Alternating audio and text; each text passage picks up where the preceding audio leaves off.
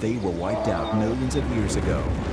But next Sunday, they're back with some very special guests. Join Ray Romano and Queen Latifah for an all-day prehistoric marathon with sneak peeks of Ice Age: Dawn of the Dinosaurs in theaters July 1st. I feel so puny. The Ice Age All-Day Marathon, Sunday, June 28th at 12, only on Discovery.